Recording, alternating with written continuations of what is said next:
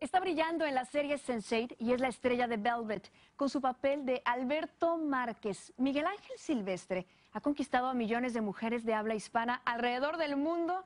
¿Y quién no quisiera tener su amor? Y hoy soy la envidia de muchas porque el actor español nos visita por primera vez en el estudio de Primer Impacto. Bienvenido, Miguel Ángel. Muchas gracias, Michelle. Qué gusto que nos acompañes. De verdad que nunca había visto a tantas mujeres en el estudio. Muchas gracias por tus palabras. Bueno, quiero comenzar preguntándote. En Sense8 le das vida a Lito Rodríguez y compartes con otras siete personas que están unidas por la mente y deben protegerse de los que intentan acabar con ustedes porque los consideran como una especie de amenaza. Pero en la vida real ¿Qué es lo más riesgoso que has hecho para salir de una difícil situación? Uf, no lo sé. Seguro que nada parecido a lo que hago en Sense8 porque, bueno, claro, están dirigidas por, los, por las hermanas Wachowski, que son las que dirigieron Matrix. Así que imagínate, la acción está llena de explosivos, salimos volando por los aires. Pero creo que una de las cosas más bonitas de Sense8 es cómo habla de la diversidad y de la empatía y cómo representa la diversidad como algo que supone la evolución, algo que supone el futuro. Y es un mensaje tan necesario hoy en día que necesitamos en, formar parte de la diversidad, comprenderla y abrazarla. Pero Miguel Ángel, te ha tocado grabar candentes imágenes, mira, las estamos viendo con el exintegrante del grupo mexicano RBD, Alfonso Herrera, porque ustedes son pareja en esta serie. Cuando te ofrecieron el papel y viste el guion, ¿lo pensaste dos veces por las escenas que tendrías que grabar con otro hombre? No, no la verdad que no. Eh, yo vengo de, en España, eh, una generación anterior a mí sufrió la dictadura, eh, entre ellos muchos de mis familiares y familiares que forman parte del LGBT y sufrieron la represión de alguna manera de la dictadura. Y de repente con los ochentas llegó el destape, llegó Pedro Almodóvar, muchos de los escritos de Lorca donde realmente celebraban la autenticidad eh, de, cada persona. Entonces mi generación crece viendo esa celebración y viendo a esas personas como grandes héroes, héroes que lucharon por, su propia autenticidad y por su propia naturaleza. Hay una frase muy bonita de la que habla Lorca, que Lorca fue asesinado eh, siendo homosexual en la dictadura, eh, que él habla, dice, cuando el amor llega a los centros no hay quien lo arranque. Y creo que de una manera directa estaba hablando de la naturaleza. Tú no puedes cambiar la lluvia, tú no puedes cambiar eh, un tsunami, tú no puedes cambiar el sol, es la naturaleza y la naturaleza es real. Nadie puede juzgar eso.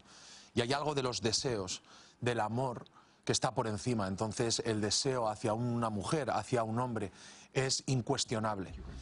Entonces yo estaba muy nervioso, Poncho también, y al principio era como empezamos dándonos, bueno, viendo partidos de fútbol, haciendo lo último que harían sus personajes, pero finalmente cuando empezamos a rodar yo le dije a Lana, lo que me pidas. En tu caso, ¿cómo se dio la invitación y cuán difícil ha sido ingresar en ese selecto grupo de actores de series exitosas de televisión? Bueno, yo hice cuatro castings, o sea, no es que yo eligiera Sense8, yo luché por conseguir Sense8 y Sense8 finalmente me escogió a mí. Hice la primera la primer casting en Madrid, luego me llevaron a Los Ángeles, hice dos castings y finalmente en Londres. Entonces, eh, creo que en esta vida, eh, por un lado es la pasión que tú le puedes poner a tu trabajo y luego está el factor suerte. Y yo creo que aquí se me juntó todo. Tuve mucha suerte de que los Wachowski tuvieran un cierto interés en lo que yo le podía aportar a Lito Rodríguez, al personaje que interpreto, y imagínate, me llamaron y además cuando me dijeron que sí fue así. Yo estaba haciendo Velvet en Madrid y en un descansito recibo un email de la directora de casting y me dice, Miguel Ángel, me gustaría hacer un Skype contigo. Eh, y yo sí, por supuesto, ahora tengo cinco minutos. Hago el Skype y me dice, ¿te importa que grabe la conversación? Y yo dije, no. Y yo, claro, yo pensé, muy, con muy buenas intenciones, después de cuatro castings, me va a decir, pues mira, verás que no. Pero me dice, no, quería grabar la conversación porque los Wachowski quieren verte la cara cuando te diga que el personaje es, tuyo. Y dije, wow. Felicidades. Así que en ese sentido, pues imagínate. No, me imagino, claro que sí, y lo veo en tu cara, irradias felicidad, pero también en Velvet, hablando de Velvet y del amor, protagonizas un amor que no tiene barreras, que no conoce de clases sociales, un amor puro. Mm. En la vida real, ¿has vivido algo así? Eh, bueno, hoy en día soy bastante rebelde, o sea, que digo, si yo me enamoro de alguien, a ver quién se atreve a decirme que no puedo, ¿sabes? Es como, pero... Vas con todo. Además es con lo que te digo, tengo a Lorca en las venas. Es el, uno de los artistas que más he, he trabajado y el amor es, el amor es, el amor es la lluvia, ¿Estás es algo enamorado? que no se puede controlar. ¿Estás enamorado? Entonces, si tú me dices, a mí tengo la suerte de que tengo una familia en ese sentido que son, yo creo que muy soñadores también y creen en este tipo de cosas. Así que no. ¿Sí o no estás barreras. enamorado? Enamorado de la vida, aunque a veces duela.